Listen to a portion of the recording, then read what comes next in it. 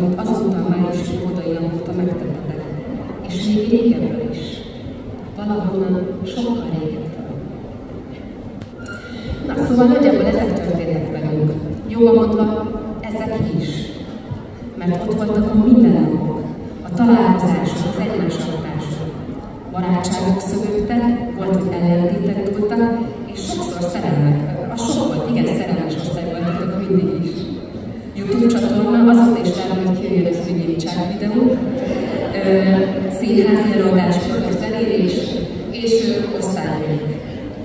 Az élet kiforogta, hogy találkozzatok, hogy találkozzunk. Alakított